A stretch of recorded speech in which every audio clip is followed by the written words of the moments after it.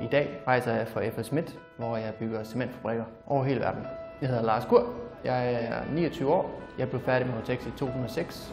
Det her, det er ovnen, og den ovn, vi har her, den kan producere 6.500 tons cement om dagen. Jeg valgte HTX, fordi der er et teoretisk aspekt, men så er der også rigtig meget i, hvordan man kan implementere et projekt. Den fabrik, jeg er ved at lave, det er den fabrik, der skal sørge for, at de forhåbentlig på et eller andet tidspunkt kan få nogle bedre huse. Altså cement, det er det, som vi bygger alting af. Det er virkelig det helt grundlæggende for, at du kan have et fungerende samfund. Det kan jeg godt lide. Teknisk Gymnasium. Tættere på virkeligheden.